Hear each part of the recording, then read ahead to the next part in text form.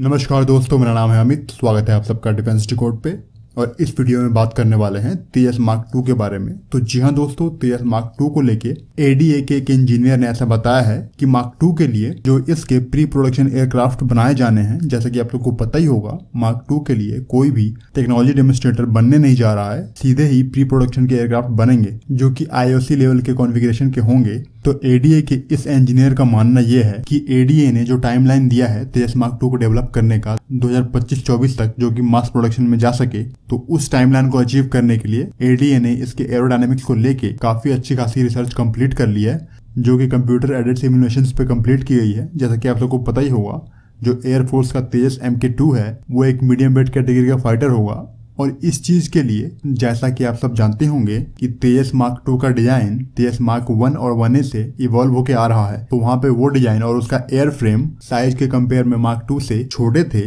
लेकिन इसको एक मीडियम वेट कैटेगरी के फाइटर बनाए जाने के लिए इसके एयर फ्रेम डिज़ाइनिंग को और स्ट्रॉन्ग किया गया है ताकि वो अनइवन प्रेशर डिस्ट्रीब्यूशन को संभाल सके और मनोवरिंग क्षमता में कंट्रीब्यूट कर सके। और इस ऑफिशियल का मानना यह है कि तेस मार्क टू के मैन्युफैक्चरिंग के लिए, इसके प्री प्रोडक्शन जेट की मैन्युफैक्चरिंग के लिए जो मेडल कटिंग वर्क है, वो स्टार्ट कर दिए गए हैं। जहाँ तक बात है कुछ इक्विपमेंट्स की, जो कि इसके मैन्युफैक्चरिंग में लगने वाले हैं तो उन इक्विपमेंट्स को लेके भी ऑर्डर दे दिए गए हैं और जल्द ही वो आ जाएँगे। और वहीं पे दूसरी तरफ़ इस इंजीनियर का मानना ये था कि तेस मार्क टू के लिए जो भी इसमें जी के F four one four engine लगेंगे, उनमें से कुछ इंजन को ले लिया गया है और उस पे अभी जी के ऑफिशियल्स काम कर रहे हैं कि वो किस तरह से तेज मार्क टू को असिस्ट कर पाएगा। और जब इस ऑफिशियल से पूछा गया कि जो अदर कंपोनेंट है, जो कि मार्क टू में लगेंगे, उनका क्या स्टेटस है तो इस ऑफिशियल का मानना यह था कि वो सभी सॉफ्टवेयर और हार्डवेयर कंपनियाँ जो कि मार्क टू के लिए कंपोनेंट या फिर प्रोग्राम डेवलप करने वाले हैं, उन सबको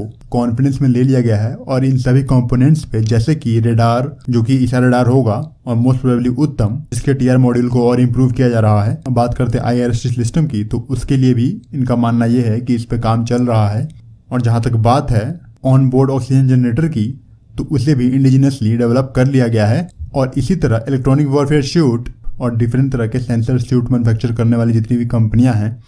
उन सबको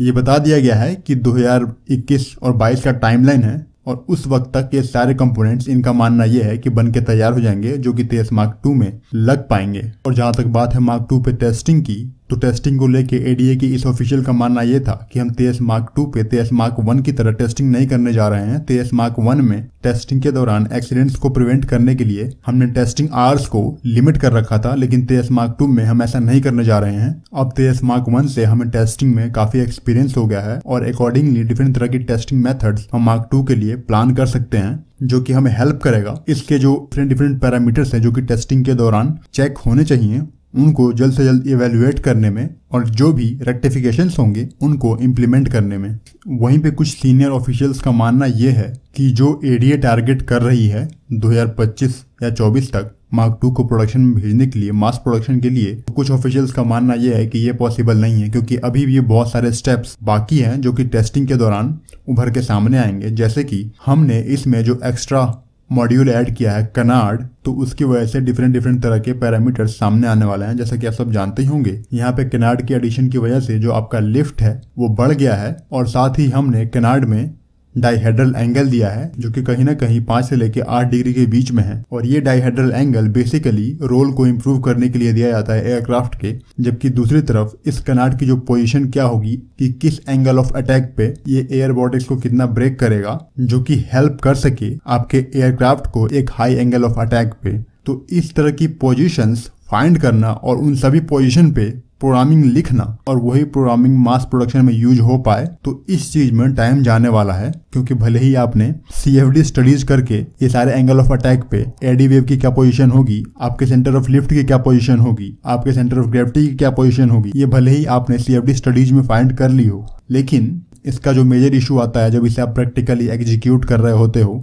तो उस दौरान जो भी खामियाँ होगी कनाड की पोजीशन में एक पर्टिकुलर एंगल ऑफ़ अटैक के लिए तो उसको भी प्रोग्रामिंग में इंट्रोड्यूस किया जाएगा। तो आपको इस सिंपल लैंग्वेज में ये बता दूँ कि एंगल ऑफ़ अटैक वो चीज़ होती है जिससे आप एयर को फेस कर रहे होते हो। मान लो आप अपने एयरक्राफ्ट के नोज़ को उठाकर, यानी कि पिच करके आगे बढ़ रहे हो तो मतलब आप अपने एंगल ऑफ़ अटैक को बढ़ा रहे हो, जो कि सामने से आ रही एयर से एक एंगल बनाता है तो उसे ही एंगल ऑफ़ अटैक कहते हैं। तो ये एक लेम लैंग्वेज में इतना ही रखते हैं। तो जैसे ही पिच का इस्तेमाल करके आप अपने एयरक्राफ्ट को एक ऑल्टीट्यूड दे रहे होते हो तो उस दौरान आपका एंगल ऑफ़ अटैक हायर होता है। इसमें जो सामने से आ रही एयर होती है, वो आपके विंग्स पे एक अच्छा खासा ड्रैग क्रिएट करती है और आपके सेंटर ऑफ़ लिफ्ट को चेंज करने की कोशिश कर रही होती है, जिसकी वजह से आपका एयरक्राफ्ट इम्बैलेंस हो जाता है। तो उस दौरान आपके कनाड किस पोजीशन में होना चाहिए ताकि वो सामने से आ रही एयर को अच्छे से काउंटर कर सके और जो भी वॉटेक्स हैं, उनको ब्रेक कर सके ताकि जो सेंटर ऑफ़ लिफ्ट की पोजीशन है, उसे कंट्रोल में लाया जा सके। तो इन सभी चीज़ों को देखते हुए ये प्रोग्रामिंग लिखी जाती है ताकि इन फ्यूचर ऐसे एयरक्राफ्ट को उड़ाते वक्त जिस भी तरह का एंगल ऑफ़ अटैक आप जितनी भी अल्टीट्यूड पे मनूवर कर रहे हो, आपको फेस करना पड़ रहा है। तो उन सब के लिए एक प्रोग्रामिंग एक पोजिशन सॉफ्टवेयर की हेल्प से लिखी जाती है और जिसके लिए कहीं ना कहीं प्रैक्टिकली आपको इसके फ़र्स्ट फ़्लाइट के बाद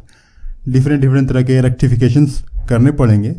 और ये रेक्टिफिकेशन कम से कम एक से दो साल इस प्रोग्राम को पीछे कर सकते हैं इसके मास प्रोडक्शन को लेके। हालाँकि अगर आपने जो आपकी सी एफ़ डी स्टडीज़ है, उसको अच्छे से एग्जीक्यूट किया है लेटर वेरिएशन के उतने चांसेस नहीं होते हैं। वहीं पे एडीए का मानना यह है कि कनाड को लेके जो पोजीशन डिटर्मिनेशन है, वो हमने तेज मार्क वन के